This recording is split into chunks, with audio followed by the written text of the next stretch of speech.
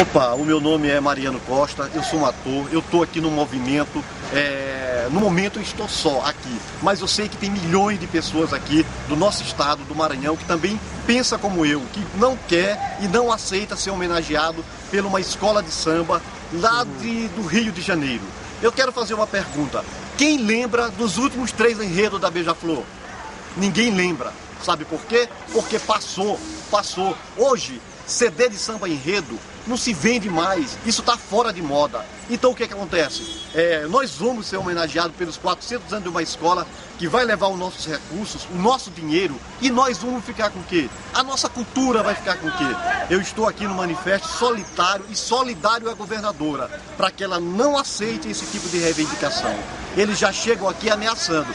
Se o Maranhão não aceitar, o Ceará aceita. Que o Ceará aceite mas nós não queremos esse tipo de divulgação em termos desse turismo, que é um turismo barato, é um turismo que a gente tem que examinar, que o que traz muito é a prostituição.